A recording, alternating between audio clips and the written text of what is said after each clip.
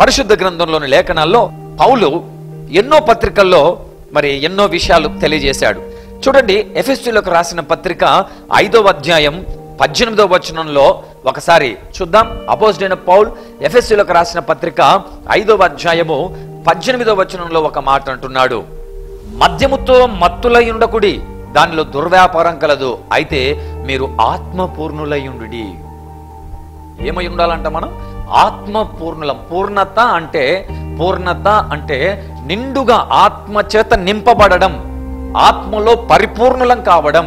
చాలా మంది అక్కడ సంఘంలో ఉన్నటువంటి వారితో పౌలు ఎఫ్ఎస్సి పత్రికలో రాస్తుంటున్నాడు మరి మద్యముతో మత్తులై ఉండొద్దు.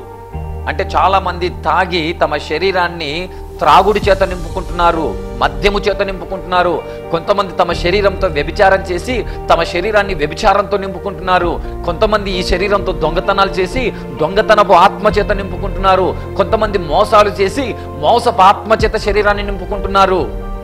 ఇలా చెప్పుకుంటూ వెళ్తే ఈ లోకంలో ఎంతో మంది దేవుని ఆత్మచేత నింపబడకుండా ఈ శరీరాన్ని ఈ హృదయములో దేవుని ఆత్మచేత మత్తులు కాకుండా దేవుని ఆత్మచేత పూర్ణులు కాకుండా దేవుని ఆత్మను నింపుకోకుండా అపవాది ఆత్మను నింపుకుంటున్నారు. అందుకే మీరు మద్యముతో మత్తులై ఉండకుండా ఆత్మ దేవుని ఆత్మ పూర్ణులై ఉండండి. దేవుని ఆత్మ చేత నింపుకోండి. ఆత్మలో మీరు పరవశించండి. దేవుని ఆత్మ అభిషేకాన్ని మీరు పొందుకోండి. యేసు మీద దేవుని ఆత్మ నిలిచినప్పుడు ఎటువంటి అద్భుత కార్యాలు దేవుడు చేశాడో నీ మీద కూడా దేవుని ఆత్మ నిలిచి ఉంటే నువ్వు కూడా అద్భుతాలు చేస్తావు.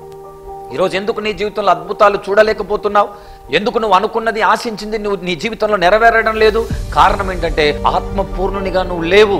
ఆత్మచేత నింపబడడం లేదు. ఆత్మ కార్యాలను నువ్వు గ్రహించట్లేదు. అందుకే నీ జీవితంలో అద్భుతాలను నువ్వు చూడలేకపోతున్నావు.